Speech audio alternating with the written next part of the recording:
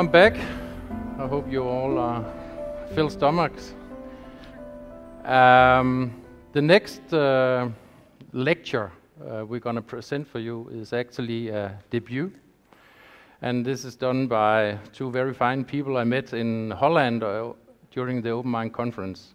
Uh, the day after the conference, we all met in the park and you could discuss everything uh, uh, with people you yeah, thought you uh, could share some ex experience with. And there I met Simon and Joanne, and we had a long talk. At that time, I didn't know that they were actually real warriors who uh, had tried to categorize their research in philosophy, in history, in logic, in politics, uh, all kind of subjects, uh, and uh, write a book called The TV Delusion. So this is actually um, a little bit of coincidence. We, we talked about that they, when we had all these cancellations, um, that the, it could maybe be a very interesting thing for them to tell the story about the book, tell the story about themselves, why they thought that this were so important that they have to put five years of research into a book. So give a very warm welcome to Simon Day and Joanna van der Leer.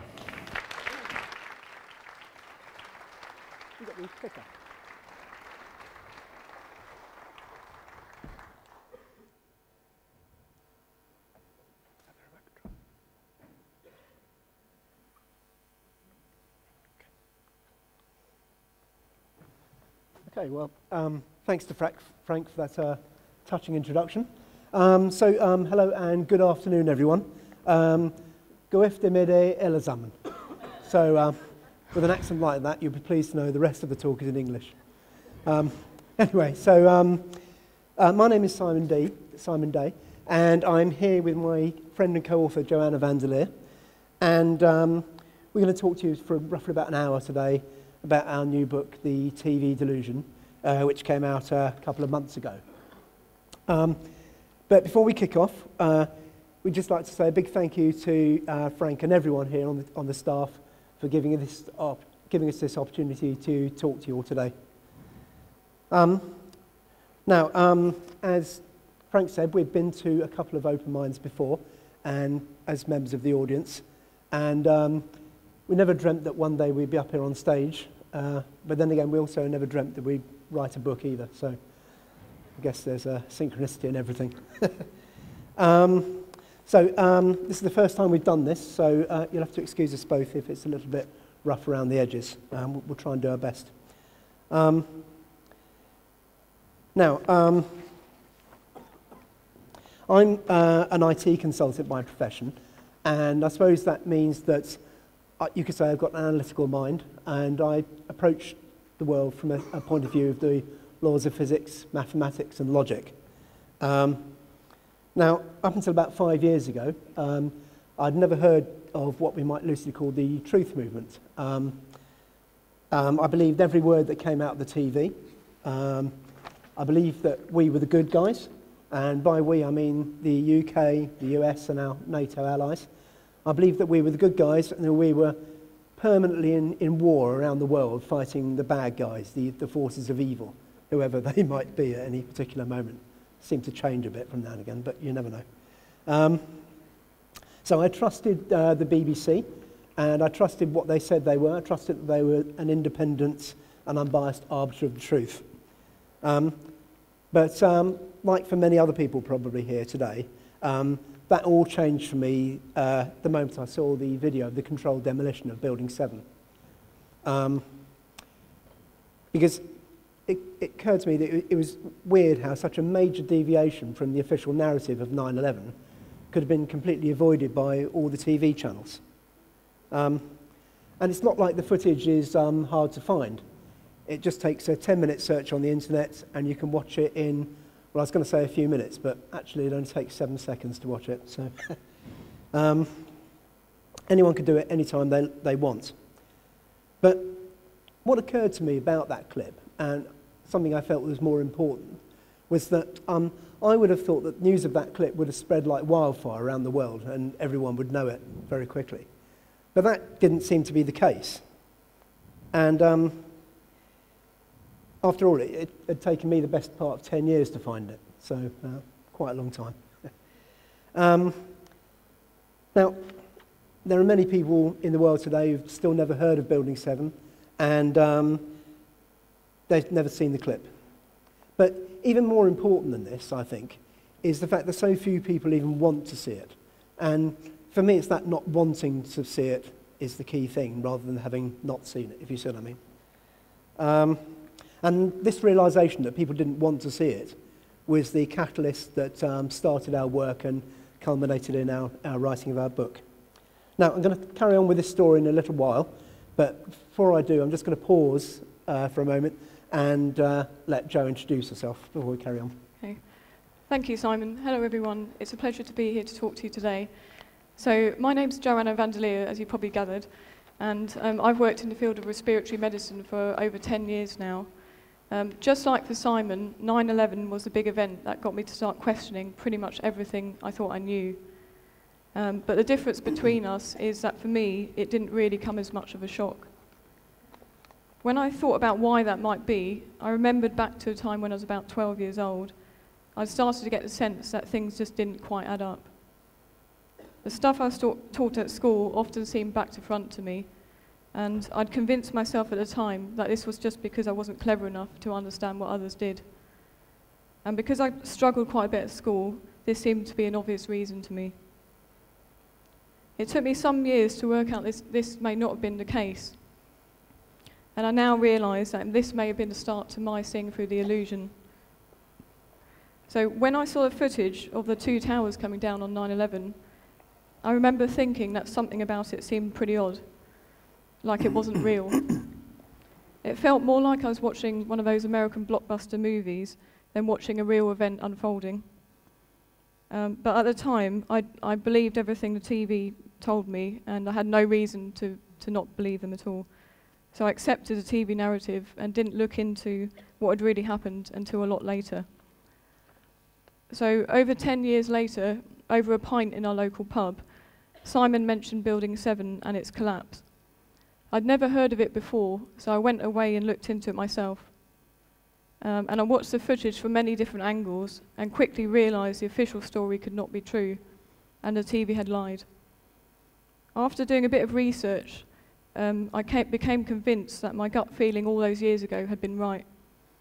And from that day on, I began to trust my gut instincts a lot more. I started to wonder how many others knew what I did and what their reactions had been to finding out. I thought, thought once my friends and family saw the evidence, they'd come to the same conclusion I had. But it didn't work out like I expected. Most of them were very dismissive and refused to look at any evidence at all. And I think this was more of a shock to me than 9 11 itself. It was a very isolating experience for me at the time, but I soon realised I wasn't alone. And I'm sure many of you here today have had similar experiences and perhaps not even with 9-11, but with other, other things. Um, anyway, but importantly, what all this made me realise is that evidence alone is often not powerful enough to change a person's thinking. And this made me wonder, why would someone actively want to deny themselves the truth? So all these experiences and the questions that arose from them made me want to get involved in writing the TV delusion with Simon. I felt that if people could better understand the powerful hidden drivers that influence their thoughts and behaviour, that this could make a positive difference. I'll now hand you back to Simon to carry on with his story. Okay, thank you, Jo. That was um, excellent, thanks. um, so, uh, what we're going to do today is um, I'm going to take you through a couple of little bits of theory which under, underpin our book. And then, after, hopefully, that'll be quite brief because I don't want everyone to fall asleep. And um, after that, we'll move on to some practical examples, and uh, Jo's going to take over at that point. Okay, so let me carry on then. So um, after I'd done a lot of research about 9-11, I figured to myself that there's no point in having a load of knowledge about something if you're not going to do anything with it. Um, so my first impulse, uh, a bit like for Jo, was to uh, tell all my friends about it. Um, and I just assumed they'd be interested to hear what I had to say. I assumed they'd want to um, ask me questions um, about the research I'd done. But um, same as what Jo said, um, the reality of this was uh, extremely different. And that was the thing that came as a real surprise to me. So let's see some of the reactions I got. About to see if the technology works. Yep, okay, so these, this is just a list of some of the reactions I got when I tried to tell people. So a few people did fall into this category, the category which I'd expected. But this was about two to three people who wanted to ask questions. Um, now, moving on, the next group, disbelief. So this, was, this probably um, encapsulated the vast majority of the people. Um, they didn't really want to listen to anything I was saying. They didn't believe me. Um, and what they mostly did was dismiss the subject and try to change the subject onto something else. Um, okay, now the next group, scorn. Now, I got quite a lot of this. Um, people were scornful about the, the work I'd done. Um, th- there was a lot of name calling and other quite uh, negative, semi aggressive behaviour. Um, and this is particularly painful for me coming from uh, people who I'd previously considered to be uh, much more intelligent than I was. Um, so this was quite shocking. Um, so, just for our benefit, can you put your hand up, please, in the audience if you've experienced a reaction similar to this to anything? oh, wow, quite a lot. Good, I'm not alone. Okay, so moving on then. Um, now, this last one, quite extreme, I, I grant you. And I actually only had one of these. But again, this came from someone who I'd previously regarded as being a friend. Um, one of them is quite enough for me, actually, so uh, I'm glad there was only one. So, um, once again, just for my benefit, has anyone experienced this as well? Ah, lady. Yeah, same here, yeah. Come and see us in the bar later. I'd like to buy you a drink and hear your story. um, okay, so um, when all this happened to me, um, a friend of mine who actually was in the first category of people, the, the questioners, um, he said to me that it's quite natural for people to act with disbelief uh, when presented with new information, some, something they've never heard before. Now, I think there's probably some truth in what he said, um, but for me, simple disbelief doesn't cover this broad range of behavioural response. Um, I just couldn't see how, if you disbelieve someone, you'd threaten to kill them. It just didn't make sense for me. And that's the kind of thing that, that kind of got me thinking, really. It was this uh, behavioural response rather than the actual events themselves. Um, now, this kind of, uh, you know, the, the last two behaviours are something which you'd expect to find from people who are either frightened or if they feel threatened. Now, you can't feel threatened by a piece of information, I don't think. So it occurred to me then that um, this could happen if someone was engaged in a belief system and they felt that their beliefs were under attack. And that, that could be the explanation for these um, extreme behaviours. And that's what first gave me the idea that it could possibly be that the TV was at the centre of a modern day belief system. Okay, so um, let's move on then. So, when I um, started thinking about all this, um, I remember a story a, a, college friend of mine had told me. Um, and um, I'll come on to this in a minute. Okay, so I'll come on to a story that this uh, friend of mine had told me at college. Now, this is quite a while ago now. It was uh, back in the 1980s. And um, my friend had done, it was, at, uh, sorry, it was at a time when there were a lot of um, religious cults popping up all over the UK and possibly elsewhere, but I was only aware of the ones in the UK. And my friend had been to visit one of these cults in the north of England, and um, he'd gone there because the student newspaper had asked him to go and interview some people in the cult uh, in order that he could write an article for the, for the newspaper. So off he went, and uh, one thing led to another, and he ended up being sucked into the cult, and he got absorbed and lived there with them for six months. Um, eventually, his uh, parents had to have him kidnapped and broken out. Um, so, the first thing I asked him, uh, probably the first thing anyone would ask him, was, why didn't you just leave as soon as you realized you were being brainwashed? And um, he said that the reason was that the narrative they told him uh, and by narrative, I mean it, the story they told themselves about themselves and their place in the world. So the, the narrative they told him had been convincing and um, appealing. And it was appealing in such a way that he felt that he wasn't being brainwashed. And he, he, he didn't view himself as being brainwashed, so he just stayed. Um, so when he said this, uh, this kind of image came into my mind. Um, sorry about the angry looking faces, by the way, it's all I, all I could find. Um, but now both of these guys think they're, they're right and think the other guy's wrong. And um, so I suppose you can imagine one of these as being a member of the cult, uh, my friend in this point, at point in time, and the other one being a follower of the narrative from the TV, uh, a so-called normal person. Um, normal, I thought at the time, maybe not so normal now. um, alternatively, you could also view this as a person who can see the truth behind 9-11 and the, the many other uh, false flag and fake terror events, and a person who's absorbed in the uh, official TV narrative of those events. Um, so it's this kind of entrenchment that we get when we, have, we find two people who are um, engaged in different belief systems which contradict each other. Um, I've even found myself in this situation as well. I'm sure many people have as well. I don't think it's that uncommon. Um, so then I started thinking to myself, how could we go about resolving a conflict like this? Um, how can we tell which of these guys is right and which guy is wrong? Um, could it be that they're both right? And what, what happens if they're both wrong? Um, so each one's saying that their narrative is true. But what do we mean when we say something is true? What does the word true mean? If we have two people and they say that something's true, how do we know it means the same thing? Okay. So um, we started researching this, and it turns out there are many definitions of the word true. Um, now, many of them are quite philosophical in nature and probably outside the scope of what we've got to say here. But we felt that there were two different ones which were very, very common. And these are the two um, we focused on. So, um,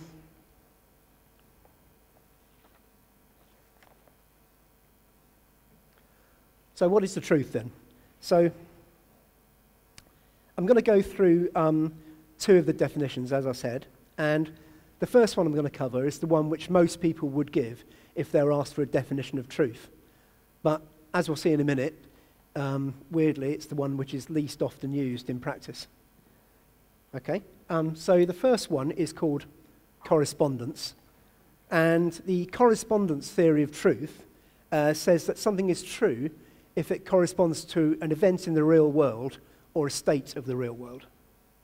Um, for instance, a simple example, if I say the sentence, it is raining, then it, that is true if it's actually raining and false otherwise.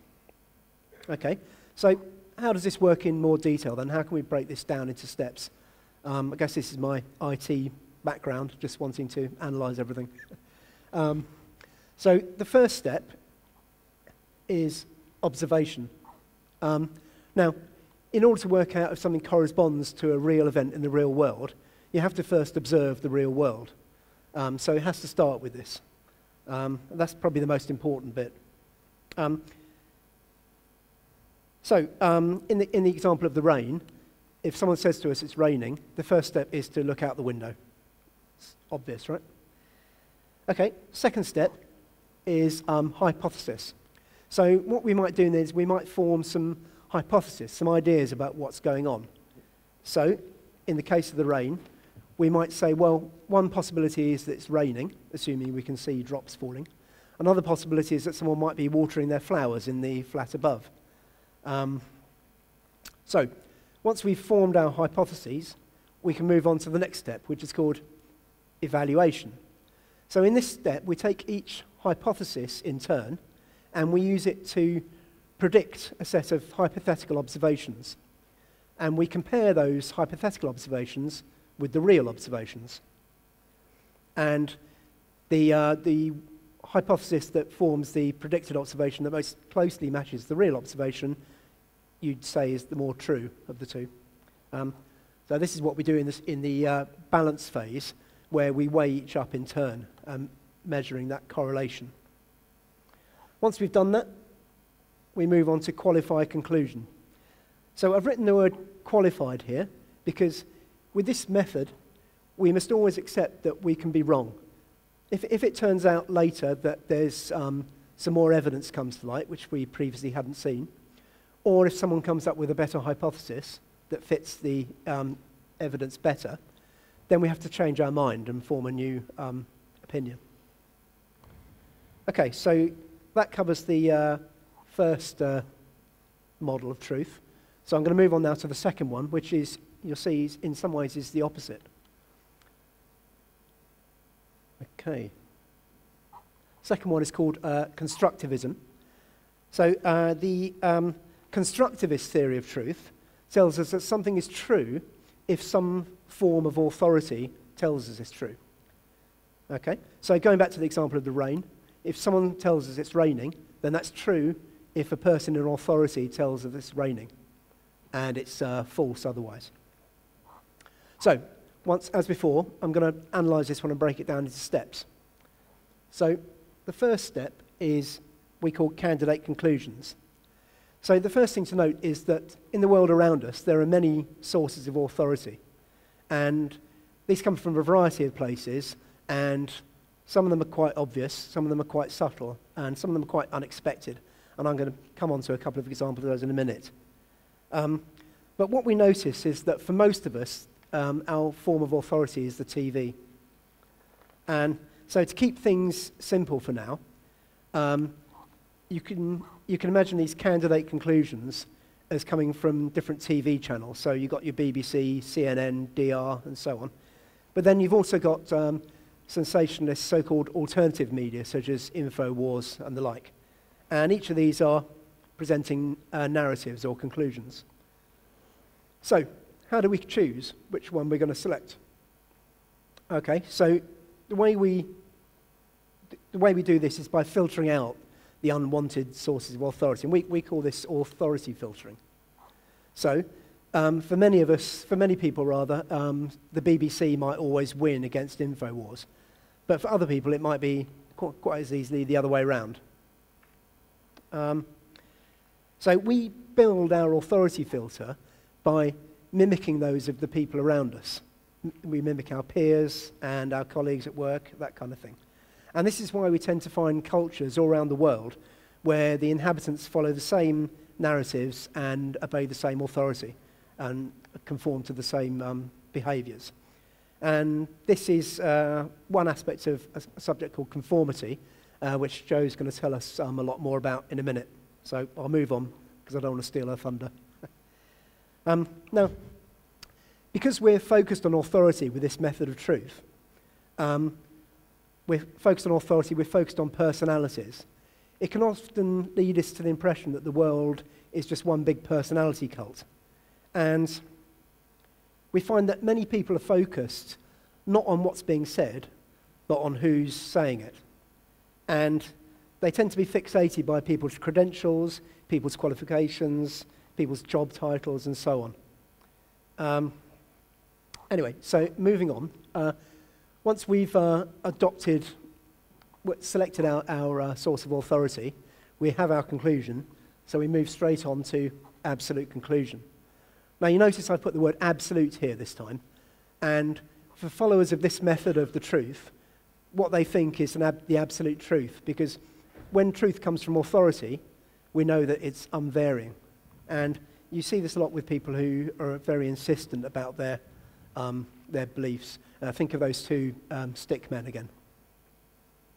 Um, and you get this entrenchment between people who follow these different beliefs or follow different authorities.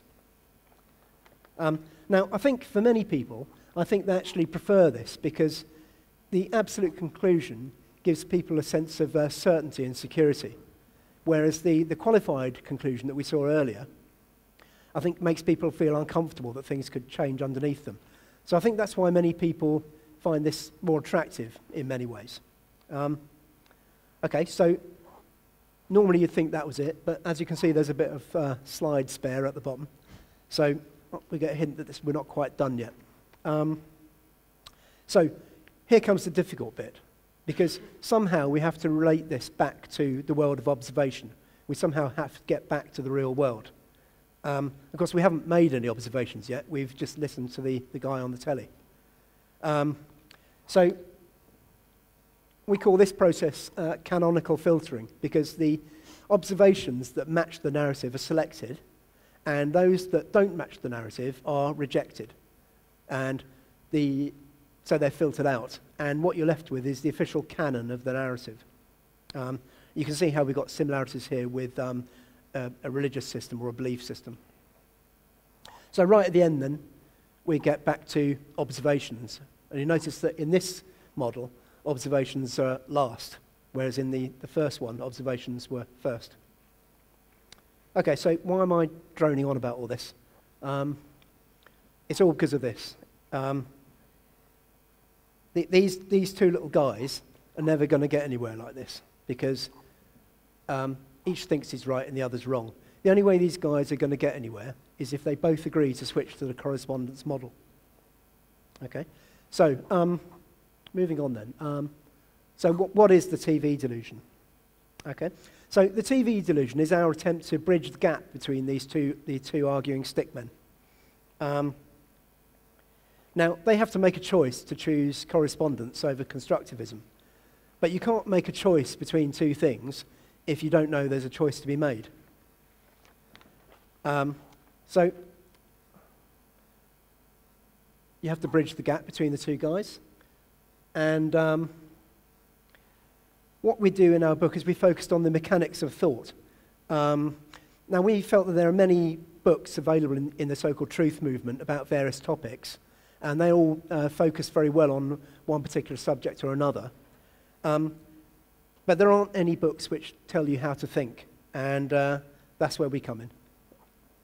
They tell you what to think, but not how to think. Um, we hope that um, we might be put in a better place. The reader will be in a better place to um, understand the world around them. Um, so just merely telling people that 9-11 was an inside job uh, probably won't help them to start thinking critically. Uh, this certainly hasn't been my experience that it's been the case. Um, but helping them to understand the mechanism of their own thought processes uh, might just do that. So it was this realization, uh, coupled with those feelings of frustration we had, uh, that made us so passionate about uh, writing our book. Okay, so I'm going to carry on then. So what I said earlier was um, authority for us is the key. So the, um, the idea of authority, and authority external to yourself, is the, the key to all this. Um, and uh, so, where does authority come from? So, as we said earlier, for most of us, um, authority comes from the TV. And so, many people will have their, their favourite news channels, which they believe to be better than the others. Um, it doesn't really matter that much, really, because all the major news channels, in cases like 9 11 and otherwise, tend to sing the same song. And it's this repetition of this narrative that comes from seemingly independent sources that enhances our tendency to believe. Um, so, of course, apart from the TV, there are sources of authority everywhere. Um, some of these are quite unexpected, like I said earlier, and I'm just going to uh, give you a couple of examples of this, which uh, struck me um, a few weeks ago, and so I'm just going to talk you through them. So, the first example uh, was, uh, came from uh, Jo and I. We're in the uh, pub, as ever. Um, quite a lot of our key moments come in the pub. So, um, and we were having a drink with a friend of ours, and we'd mentioned to him that um, we'd been to see David Icke in uh, Brixton in London a few weeks before. Now, um, before I go on, I'd like to say that I don't necessarily agree with everything David Icke says, but I think he's got a lot of stuff which I do agree with. And even when he's saying things that I don't agree with, I still like to listen to him because I just find it interesting what he's got to say. And I guess that's kind of what it means to be open minded. It's being prepared to listen to people even when you don't agree with them. Um, but my friend's reaction uh, was quite different to this. Um, he said, Oh, David Icke, that's that bloke who goes on about lizards all the time. And At that, he just refused to discuss anything he said any further. Um, and he said to me that you cannot respect anyone who goes on about lizards all the time. So, um, now, what I suspect my friend was doing, uh, perhaps subconsciously, is looking for that source of authority. So the suggestion was that David Icke might be a source of authority. He's decided that he's going to reject him. He's not prepared to accept any authority from him. And therefore, he then writes off everything he says and refuses to listen to any details. Um, again, you see that the focus is on the personality rather than the details of what's being said. So, um, authority has the power over us to make us stop thinking. When we um, listen to authority from outside of us, uh, we have the tendency to stop thinking. We, we assume that, um, rightly or wrongly, um, someone else has done the critical thinking for us. And that means that we don't have to do it anymore. Um, now, I've got just one example of that, and um, before I move on, and this is an example from my childhood, actually, and uh, probably one of my earliest memories. Um, now, it's quite a long time ago now, as you can probably imagine, um, and I remember being put in front of the television by my mother, and uh, it was to watch the Apollo missions. And the bit that always sticks in my mind is the bit when the uh, lunar module takes off from the surface of the moon. So I don't know if many of you are familiar, but the, the top half, which is called the ascent module, blasts off and leaves, leaves the lower half below on the moon's surface. That's called the descent module. And when it took off, i had been waiting for this moment for days. So I was, I was sitting in front of it, riveted to the set. And um, I remember it taking off. And I spotted instantly that it didn't have any rocket engines. Um, all the other stages of the Apollo have engines underneath them with flames coming out of them, but this one had nothing. Um, so, of course, um, I pointed out to my mother, I said, Mum, why doesn't it have any engines? And uh, quick on her feet, um, she said to me the following She said, The reason it doesn't have any engines is because you don't need engines if you're on the moon. now, yeah, that one, looking at it now, when I remembered it recently, that was my reaction as well. It was quite funny. But at the time, of course, it's, it was different for me because I accepted the authority of my mother and let the subject ride there. And that was her statement, her statement of authority, was sufficient to stop me thinking about that subject for 40 years, um, which is pretty powerful form of authority, in my opinion. Um, now, of course, I don't blame my mother. I'm not trying to sit here and uh, slag my mum off. Um, I was a really difficult child. Um, I was always asking stupid, difficult questions. So um, must have been a bit of a pain in the bum for her. So. And incidentally, um, I did look at the clip again a couple of weeks ago and uh, on YouTube, and uh, still doesn't have any engines. So there you go. no one's painted any on, as far as I could tell. Anyway, um, moving on then. Oh, there it is, look. Now, sorry the picture's so rough. Um, it's the only copy I could find on the internet.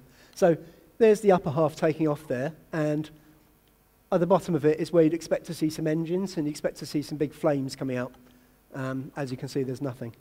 Um, God only knows what force is propelling that thing upwards. Um, the hand of God, maybe, I don't know.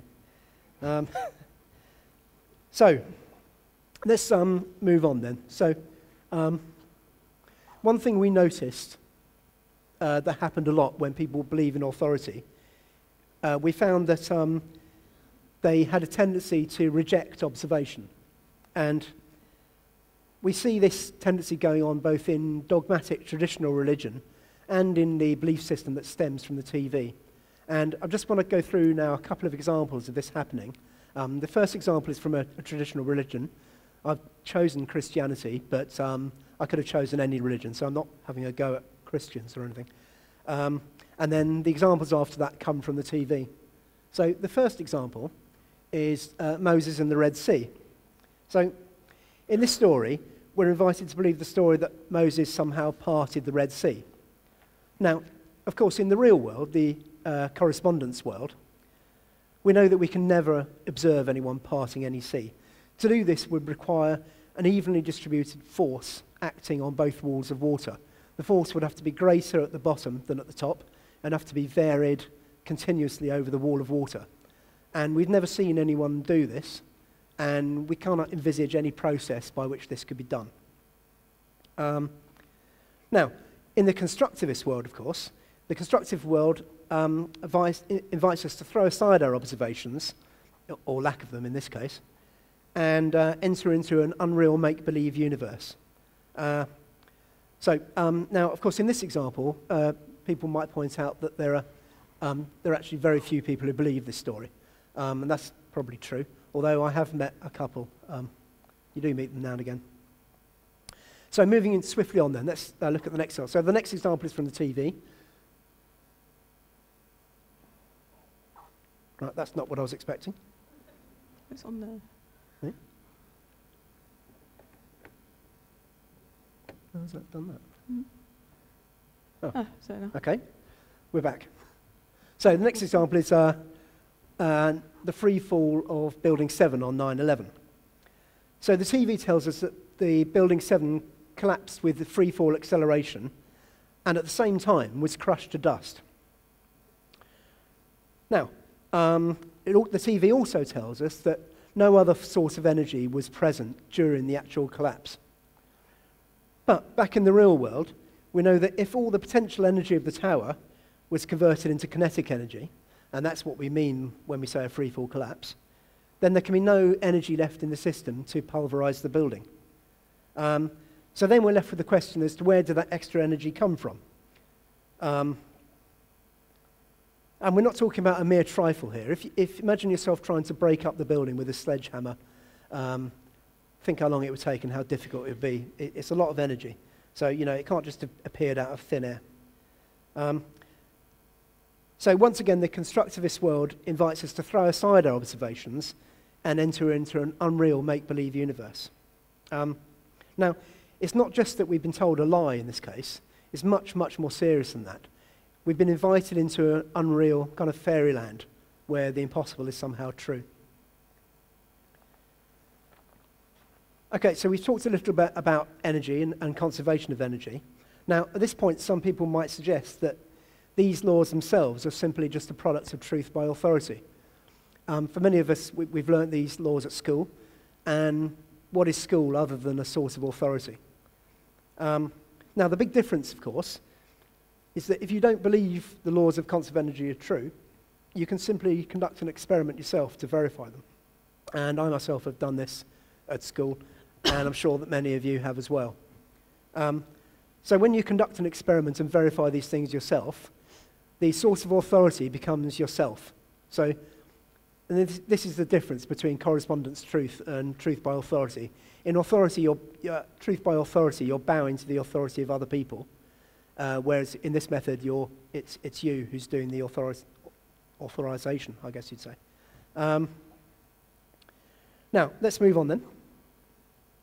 So, 7 7. Um, on the seven, in the 772 bombings, we're told that hair bleach and black pepper was used by the so called terrorists to construct their bomb.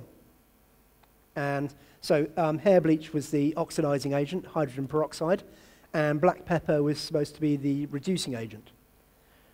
Now, back in the real world, the world of correspondence, we know that it's impossible to make a bomb out of hair bleach and black pepper. Okay?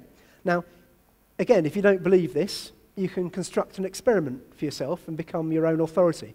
You can go down the shop, buy the hair bleach, go down to Tesco's, buy the black pepper, mix them together, do anything you want, heat them up. Perfectly safe. Anyone can do it without harming themselves. Let your kids do it, no problem. The worst thing that's going to happen is you're going to get a bleached cat that maybe sneezing a bit, I don't know. Um, so, once again, the constructivist world invites us to throw aside our observations and enter into a make believe world. A world of uh, mad guys with beards making military grade explosives in their bathtubs uh, with items purchased off their grocery list. Okay, so let's uh, move on then. So, next example chemtrails or persistent ice. So, the TV, of course, is largely silent about these. Um, when it does comment, it tells us these are water droplets, water vapor, or ice crystals. But once more, back in the real world, we know that water vapor water droplets and ice crystals cannot exist in any volume of air which is above the dew point. And we know the air is above the dew point because if it were below the dew point, there'd already be a cloud there. Um, so, ice crystals don't stay there, persist, broaden into thick stripes, and then grow in volume, turn into opalescent white sheets which cover the whole sky. They just don't behave like that. And once again, if you don't believe me, simple, you can conduct your own experiment. Okay, now I admit, probably a bit more difficult in this case, but you could get a big glass tank, you could fill it with some air above the dew point, you could get an atomizer and spray in some ice crystals in a plume, and you could watch to see what happens. And what will happen is those ice crystals will dissolve or sublime into the air and become invisible. They wouldn't stay there in a big cloud. Um, now, of course, in this case, um, for many people, the, the act of rejection of, of the observation just consists in their refusal to look up at the sky. So for many people, um, their belief system is uh, more powerful than their neck muscles. um, now, I could go on like this, but firstly, I've run out of slide, and uh, secondly, at some stage, Frank will probably want to kick us out. So I'm going to move on from this, and I'm going to move on now to propaganda. Um, I'm going to start by uh, telling a little story about this, which I'll come to in a minute, and then Jo's going to take over and go through the notion of propaganda in a much, uh, to much greater depth. Um, so what I want to illustrate really is how, uh, how easily this stuff slips into our consciousness without our even being aware of it. Um, so, um, I was having a conversation with a, a, friend of mine a while back, uh, probably in the pub, and we were talking about the uh, breakaway of Crimea from the Ukraine, which happened a few years ago. And my friend came out with this statement Putin is a warmonger. Now, I asked him what he meant by this and asked him for some examples of wars he's supposed to have munged, or whatever the word is. And of course, um, he didn't have anything. Um, but he was still adamant that this was true, nevertheless. Um, so, what can we say about this statement? The first thing is it lacks any kind of detail, it lacks any kind of observation. Um, and the second is it's focused on personality. So, those two facts alone should be enough to give us the idea that this is a constructivist statement. Um, so, how can we combat propaganda? What, what can we do about things like this? Um, well, the first thing we have to do is to ask detailed questions. So, we can say, what wars has he actually started? We can ask, did he really do it? And we can ask, did he have good reason? Um, now, we haven't got time to answer these questions today. Um, I'm sure many of you probably know the answers already. Um, but the important thing with the correspondence theory is that we ask questions. Um, the answering them is kind of interesting as well, but the asking them is the important thing. So um, the second thing we can do to escape propaganda is we can look at the, the broader picture. So we can say, um, what wars have other leaders started? So when we say a sentence like Putin is a warmonger or any other absolute um, statement, what we have to recognize is that these things are mere relatives. So this sentence has no meaning if all other leaders in the world turn out to be more of a warmonger. Um, so, for instance, in this particular case, it makes sense to compare the wars that Putin may or may not have been involved in with those that the US have been involved in. Now, here's the US ones. Now, my apologies to people in the back row. Uh, the, the, font on this slide is a bit, a bit small, I know. I had a real job fitting everything in, as you can probably tell. So, um, I've got Syria at the bottom there twice because there's a supposed war against ISIS, ISIS and uh, an, an, actual war against Assad. Um, and obviously, we don't know where we're going next with this. Um, and these are just the most obvious uh, acts of US aggression, largely unprovoked over the last 50 years or so. Okay, so um, that brings me to the end of my section. So now I'm going to hand over to Jo, and she's going to take you through some um, more interesting examples from this. How do you use this? Thank you. That goes oh. right. Okay. Okay, thank you, Simon. That was all very interesting stuff. Um, my bit's going to be a bit briefer than Simon's, so don't worry. You'll be able to go to the loo and have a break in a minute, so it won't be very long, okay? All right, so we're moving on to propaganda now. Um, so when we were writing the book, we looked into many subjects we felt were related to belief systems, and I'm just going to touch on a couple of these today, um, the two we thought were most important. So I'm going to start with propaganda, as up on the screen, and I'll move on briefly to talk about conformity. Okay, so what is propaganda? So one definition is that it's biased or misleading information that's used to promote a political cause or narrative. Um, in a way, you could think of it as a basic form of mind control uh, that could be used to force a population into submission. Okay, so why is the TV such an effective instrument for propaganda? So there are many reasons for this, uh, but the most obvious is the sheer prevalence of, of the TV.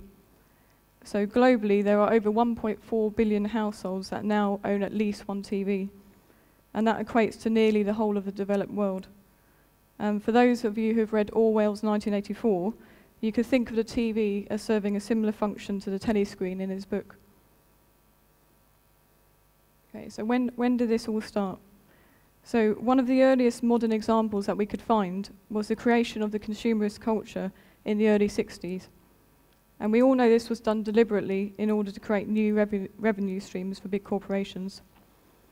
By the late 60s, propaganda was being used for political purposes as well as commercial ones. So who was, it, who was behind it all? So one of the big players in the field was a guy called Edward Bernays, and you may have heard of him.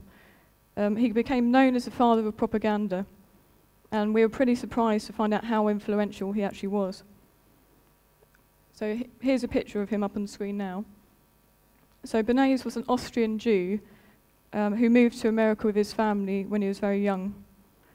He was a pioneer in the field of public relations, and his role primarily was to make American corporate and government campaigns more acceptable to the general public.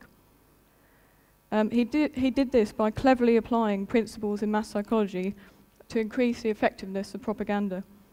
And although this is a fascinating subject in itself, and we go into a lot more detail in the book, uh, what we're going to focus on here is just how the foundations he laid are still relevant today. So I'm going to show you a short clip now just to kind of outline this.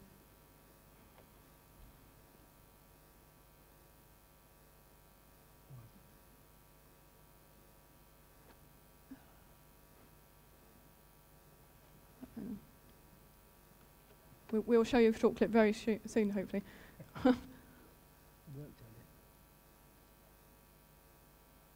Bernays left an indelible mark on the cultural consciousness of the United States and the world. And though he is Bernays left an indelible mark on the cultural consciousness of the United States and the world. And though he has since passed on, his legacy remains with us today. The methods pioneered by Bernays have become commonplace. Like Bernays, PR firms around the world work to skew customer and civilian opinion in favor of one product, government action, or another. And, like Bernays, some firms work to justify wars, often while remaining largely invisible to the public. For example, have you ever heard of a firm called Hill and Knowlton? According to their website, Hill and Knowlton Strategies offers senior counsel insightful research and strategic communications planning throughout the world. In 1990, this firm led a propaganda campaign to build support for American intervention in Kuwait as Saddam Hussein's Iraqi forces invaded. Yet many American citizens were emotionally distanced from this conflict between two foreign countries hundreds of miles away and, sadly enough, many Americans couldn't identify Kuwait on a map, much less identify with its people.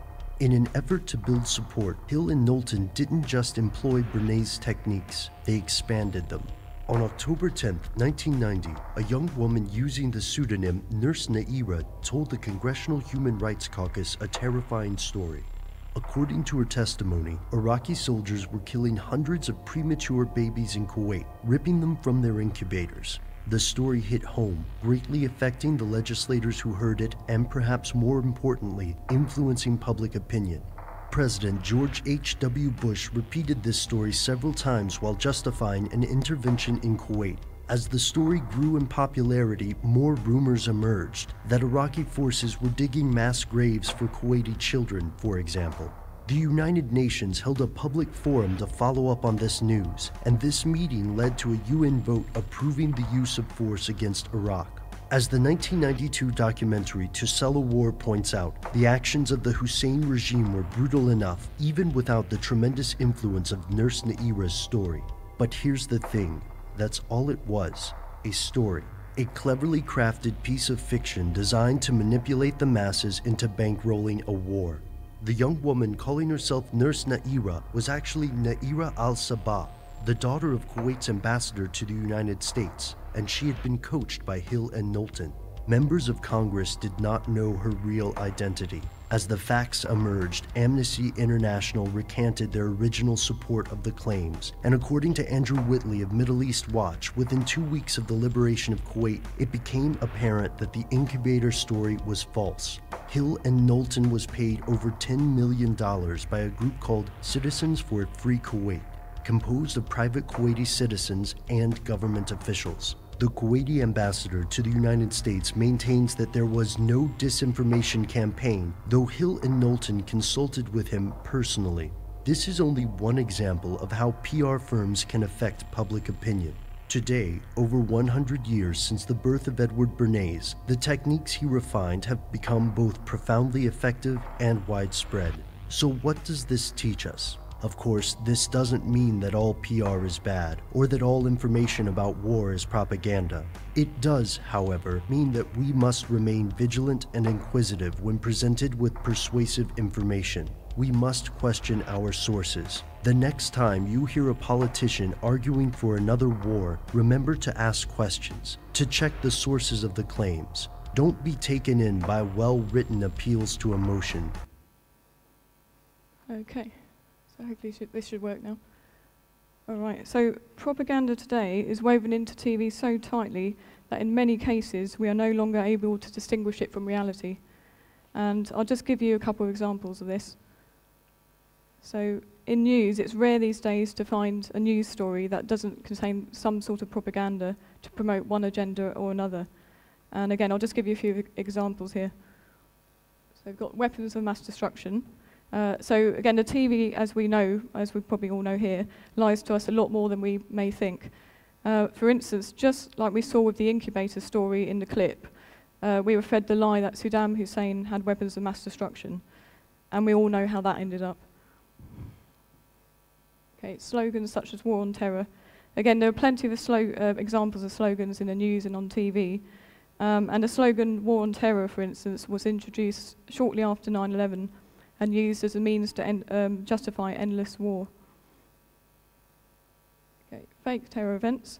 So we're subjected to fake terror events over and over again. Um, and exa uh, for example, we have false flag terror events such as 9-11 and 7-7. And then there are fake terror events such as Sandy Hook and the Boston Marathon bombing. Um, and these are all used to create an atmosphere of fear. And all, as we all know, a terrified public is a lot easier to control. Okay, so we have propaganda in films. Um, much of the output from Hollywood these days is there for the sole purpose of propaganda. And films such as the ones on the slide at the moment certainly contain their fair share. And I'm sure many of you have seen at least a few of the ones up here.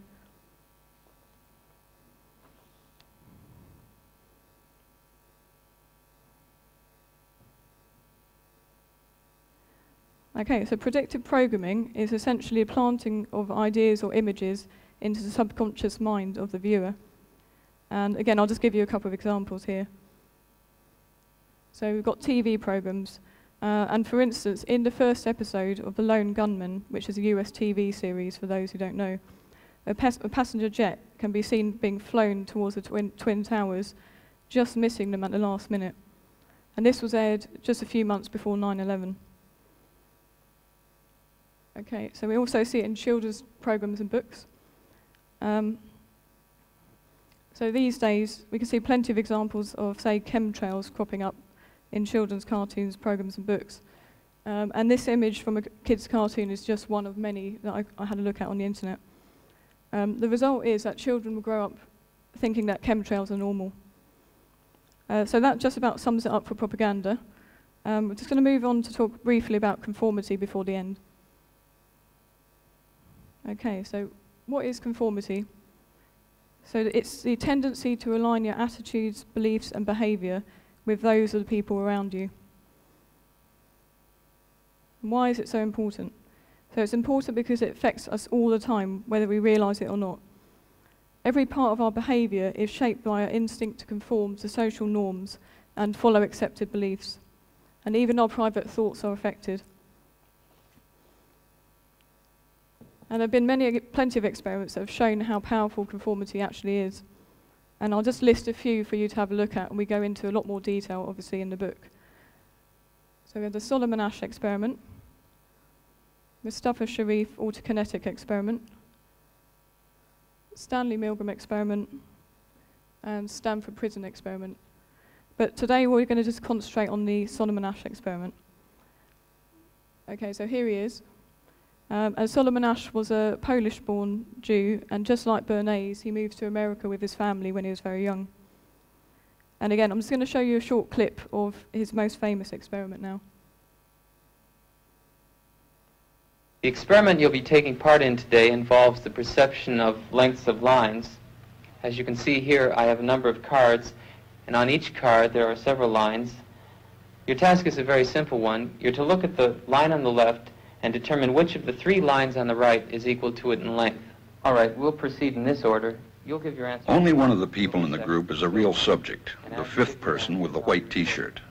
The others are confederates of the experimenter and have been told to give wrong answers on some of the trials. The experiment begins uneventfully as subjects give their judgments. Two. Two. Two. Two. Two. Three. Three. Three. Three. But on the third trial, something happens. Two. Two. Two. Two. Uh, two. The subject denies the evidence of his own eyes and yields to group influence. One. Asch found subjects went along with the group on 37% of the critical trials. But he found through interviews that they went along with the group for different reasons. One. One. They must be right. There are four of them and one of me. Uh, one. This subject's yielding is based on a distortion of his judgment. He genuinely believes that the group is correct. One. One. One. Two. One. Two. Two. Two. I know they're wrong, but why Two. should I make waves? Two. In this case, the subject knows he is right, but goes along to avoid the discomfort of disagreeing Two. with the group. Here, the distortion is at the level of his response. Two. Two. Two. Two. In the previous experiment, the naive subject stood alone against the group. In this variation, Asch gave the naive subject a partner, here seated in the third position, who also gives the correct response. One. One. Two. One. Two. With a partner, yielding drops to only 5% of the critical trials compared to 37% without a partner. Although subjects report warmth and good feeling toward the partner, they typically deny that he played a role in their own independence. The partnership variation shows that much of the power of the group came not merely from its numbers, but from the unanimity of its opposition. When that unanimity is punctured, the group's power is greatly reduced. Sometimes we go along with the group because what they say convinces us they are right. This is called informational conformity. But sometimes we conform because we are apprehensive that the group will disapprove if we are deviant. This is called normative conformity. The strength of the normative factor is shown in another variation carried out by Asch. In this variation, the subject is told that because he had arrived late, he would have to write his answers. Subjects in this private response experiment are exposed to the same amount of misleading information as other subjects, but they are immune from any possible criticism by the group. One. One. One. And this enormously reduces the pressure to conform. Conformity drops by two-thirds. Asch's experiment is a classic. It reveals how people will deny what they see and submit to group pressure. It allows us not only to observe conformity, but to study the conditions that increase or reduce its occurrence. Okay, so I hope you found that interesting. Um, okay, so just to summarise, I'm going to go through the main conclusions from Asch's experiment, uh, in case you were asleep while, while that was on. Uh, so, okay, so group pressure can make you think and say almost anything. Group pressure can be more powerful than your own senses. Um, and importantly, a collaborator can vastly reduce the effects of conformity. So you might be asking, how does this all relate to the TV? So firstly, the TV gives us the impression that there's a large group of people who've all adopted the same narrative. And this is what makes it such a powerful tool for conformity. Um, and often we make this false assumption that the many different news channels, each of which peddle the same story, as Simon pointed out earlier, are independent from each other. But in fact, they're a lot less independent than you might think. Um, and another reason is that the TV quite often tells us a certain opinion comes from a body of experts. Um, so we're much likely to, uh, sorry, less likely to question the narrative. Anyway, that just about sums it up for conformity. Um, we're just going to finish off just by um, basically going through a few key steps we can all take to reduce the TV's power to delude us and those around us. So how to think, not what to think. So this is crucial if we are to bridge the gap between those of us who know what's going on and those who don't. Question everything. So when we start to question things, we're on the right track to engage critical thinking. And this will help us move towards correspondence truth. Turn off the TV. So this is a, an obvious one, and, uh, but for many not an easy task. Speak out loudly. Okay, so for those of us who do know what's going on, it's important that we do speak out about it in whatever way we can. Um, and although this can take a lot of courage, it's vital if we want things to change for the better. Okay, and everyone can make a difference. So as the Solomon Asch experiment shows us, it's always possible for a small group of dissenters to break the pattern of, of false belief. So there's still hope for us all yet. Okay, so we'd like to thank everyone for listening. And um, if you're interested to find out a bit more about our book, you can access a free sample of it on Smashwords, which is up there on the screen, or just find us after the talk. Um, we hope you enjoy the rest of your weekend. Thank you very much.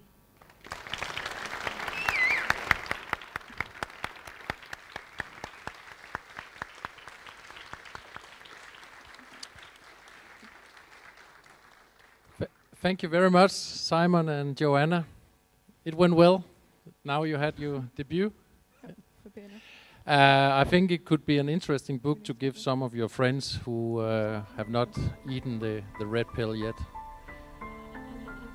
Um, we just have a small break and then we will continue with reality uh, talk uh, with Mark Devlin. So uh, we are a little bit delayed now, so 10 minutes break and then you are back, okay?